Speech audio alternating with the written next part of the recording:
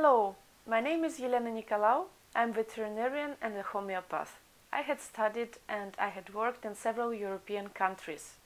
First, I wanted to make this channel just in Russian language, but as I had so much questions and interest from not Russian speaking people, I decided to make this channel multilingual. If you are interested in veterinary homeopathy, subscribe to my channel, put your likes, uh, ask your questions. I will be glad to answer.